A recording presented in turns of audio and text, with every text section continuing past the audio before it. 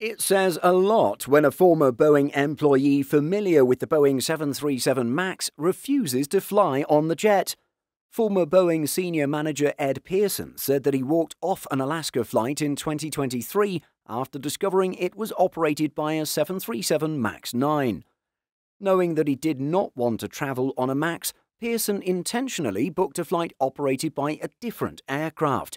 However, Alaska must have changed things at the last minute with Pierson telling CNN, I got to the airport, checked again that it wasn't the MAX. I went through security, got coffee, I walked onto the plane, I thought, it's kinda new.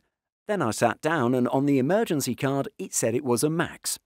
At that point, Pierson says that he got up and walked off the aircraft.